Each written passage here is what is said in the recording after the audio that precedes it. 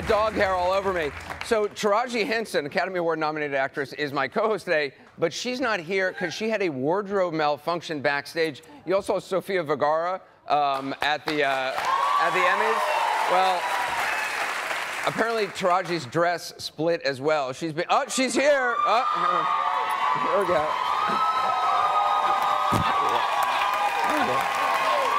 How are you? What a great stand-in. Oh. What a great stand-in. All right, Molly, sit, sit. I love you. Woo! Oh my my! Okay, yeah. So You are literally being sewn into your I- dress. it happens. It happens a lot, and um, Wow. Do you do you bust out a lot like this, so to speak? I'm a real woman with curves, honey. I like that. But um, yeah, it happens a lot. And um, unfortunately, you have these designers who make these incredible pieces of wardrobe. Right. But they put these really cheap zippers in. Uh, yeah. uh, so I, br- I brought my dog out. I love your Because. Cesar Millan is going to be on the show later on, uh, and so I, everybody brought their dog today. I, you know what? And I started to bring mine. Uh, yeah, well, you have a dog. I do. His name is Uncle Willie. Uncle Willie? Because he looks like an uncle. He looks like he's gonna drop some knowledge and tell you to stay in school and is that right? Is that right? Uh, we got a. I'm so glad you're here. Uh, we got a, a huge show for you today. As I said, Cesar Millan is here. Uh, Ty Burrell from Modern Family is here.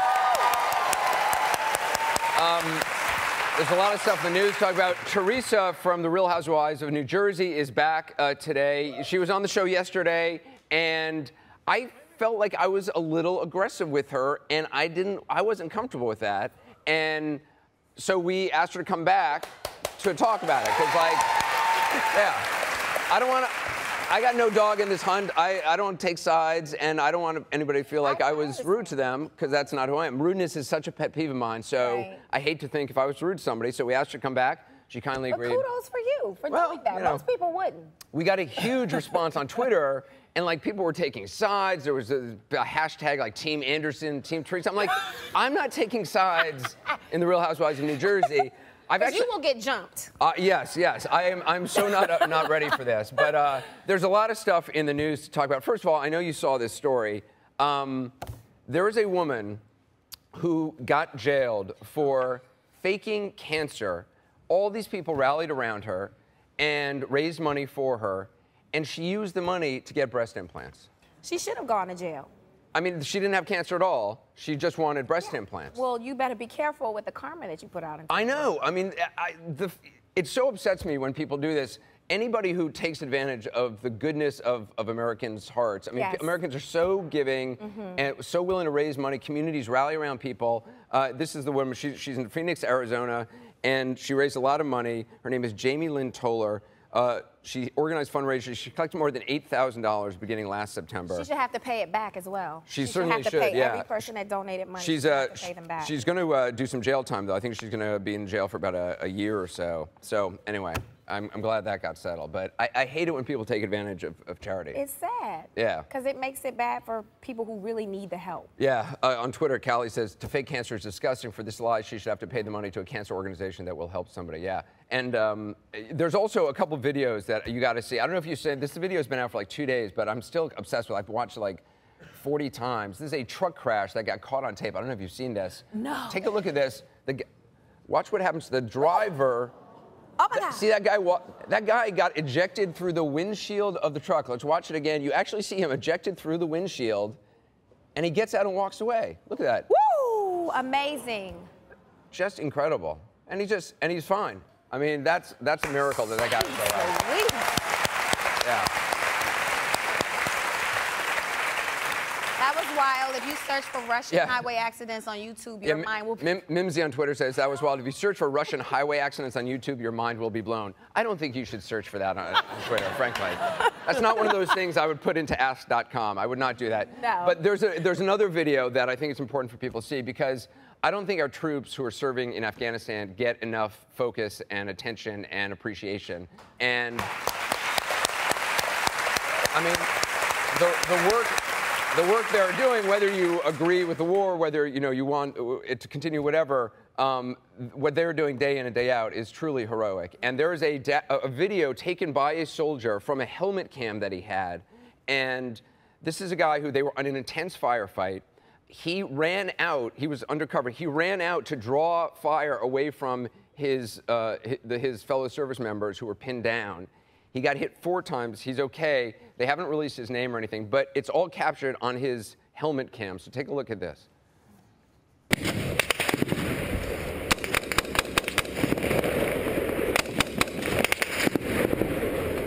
I'm moving down. So he basically runs down the hill toward where the firing is coming from To distract them to from distract them. This is all from the camera on his helmet. Then he ends up hiding behind this rock where he gets shot four times. I'm hit. The gun is Okay. literally shot out of his hand. He, again, he's able to walk down. He's okay. Um, but again, it just really brings home in a way that I don't think is brought home enough the, the struggle that these men and women are facing every single day. And so I just, I just think we should give them some credit every day. Yes.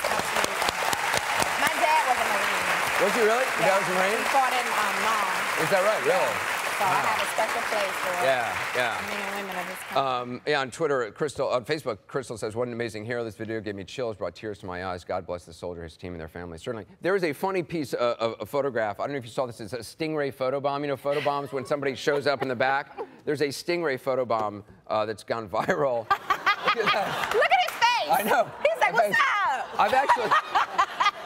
I actually did that one. uh, I've, I've swum in that area, and it's really creepy because these stingrays, they do, they come right up to you and they like flap all over you, and they're totally benign. I mean, for the most part. Well, and- did they get stung? Are they alive? no, What's no. I mean, you know, they have this this this tail that that remember Steve Irwin, that Yeah, guy that's- died. that's how yeah, he died. but that was a freak accident. Stingrays are, are very gentle, and people swim with them all the time. Oh, wow, Yeah. okay. So 'Cause I sense that's not something that you would do. Um, where is that? So I'll make sure I don't I think there. that one that is either there's one in the Cayman Islands, there's one in Fiji as well that people do. And I'm an animal lover. Remember that Yeah. hot picture I did for Peter? I love animals. but um, certain animals I just don't like to play with. Yeah. Stingrays. Stingrays, yeah. Yeah, I went diving with great white sharks for 60 minutes. Uh, Really? Yeah, which was nutty.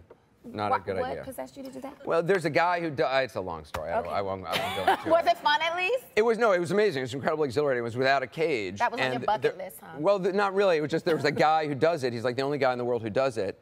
And um, so anyway, I went diving with him. And So so were I, you in a cage? Like, what are you? no, I was in a cage. I just went diving. now, do you watch Housewives? Are you a Housewives?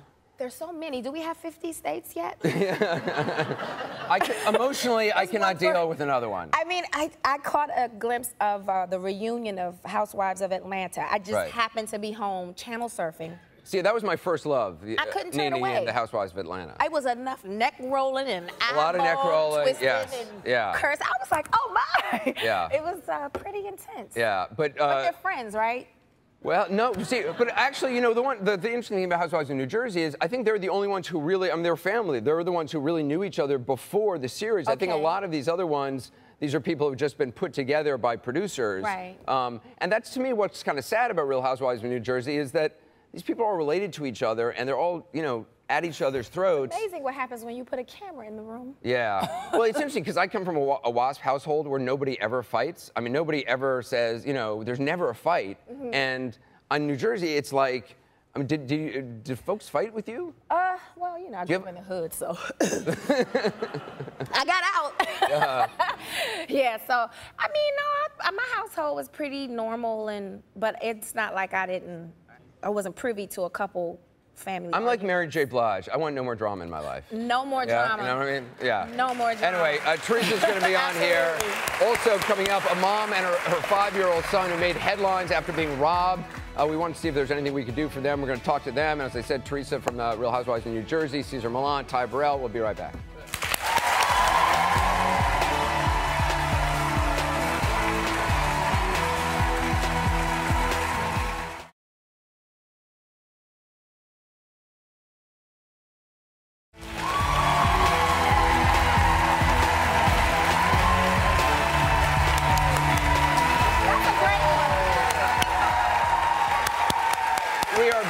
Taraji Henson, my co-host. I was afraid when you got up, your dress was going to bust again. Well, you know what? At this point, Oh, you got a little piece of tape sticking up here. oh God, I'm a Wait. mess. Wait. Next, you're gonna tell me a track there is we go. showing or something. Um, I'm going to run out of the audience because I hear we have a big group of folks who came all the way from Maine, I think. Is that true? Are you from Maine? Hey, what's your name? Cindy. Cindy, how you doing? how Molly.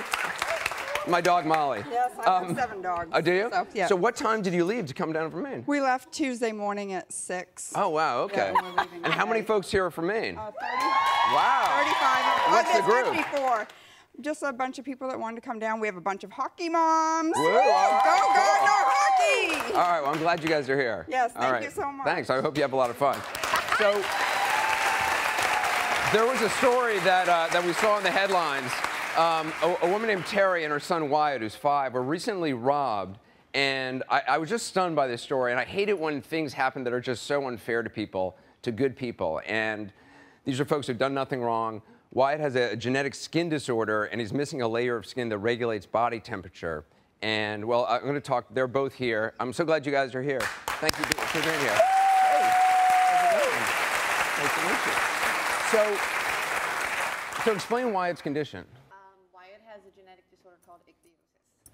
Um, basically, there's one in 250 people born with ichthyosis every day. But the problem is, is that some cases are very mild, like just dry skin, and Mm. some cases are extremely severe A- And, when it's really warm out, he has to wear a vest. because he cannot control his body temperature. So he, he has a vest that cools him right. in, in warm it temperatures. has it has ice packs. It has ice packs in it that we keep in the freezer. Uh-huh. Um, we had a, we have a backpack that I use for him when we go back. We spend a lot of time back and forth going to Children's Hospital in Philadelphia. Right. Um, and we keep the ice packs in the freezer, and then we keep the vest in his backpack in the car, with his vest, his DVD. and your dog Pluto. Yeah. He's my favorite dog. He's your favorite dog? Yeah. This is Molly. She's one of my favorite dogs too, but I like Pluto a lot too. Yeah. Have you watched Mickey Mouse? Of course I've watched a Mickey Mouse. I love Mickey Mouse. Is Pluto your favorite on Mickey Mouse? Yeah. Yeah. Pluto's Well, pretty cool. Is it Pluto? Is Pluto your favorite or Mickey Mouse your favorite? He's my favorite. yeah. Both your favorite. So the reason you, you made headlines recently is the you st- had the vest in your car, Right. And somebody stole The whole backpack. the whole backpack with Wyatt's vest. right. So he has no the vest he, his vest which he needs every day to control his body temperature. They took it. Yep. And you're now you have a vest that I think his you you had when he was two years old. Yeah, we did a fundraiser when he was two years old to raise money to get him his first vest. Uh-huh. And it's from when he was two, so it's very small. Doesn't this- really fit. When, when you, heard- I mean, when you realized someone had stolen his vest, what did you? I mean, it just when I read this, it just made my blood boil. I was I was frustrated. I looked at my husband. I'm like, we're done. I said we can't we can't afford to get another one. Um, we just we had just done a beef and beer over the summer um, to try To and raise raise money. to try and raise money because his medical expenses are killing us. And we actually lost $500 on it because Oh. we had so many people that said they were going to come. We got all the food and, And stuff, didn't and they, nobody came. Well, we, we wanted to know what we could do. We reached out. There's a company called Techno Niche. When they heard your story, um, they wanted to help. They are going to donate a cooling vest for life Yay. for Wyatt. So for the rest of his life, he's going to get a cooling vest. If he loses it, if he outgrows it, they're going to give him a new one. So I hope that helps. That's great. Thank All you right. so much. All right, we wish you the best, Wyatt. All right. Up next, Modern Family star uh, Ty Burrell is here. We'll be right back.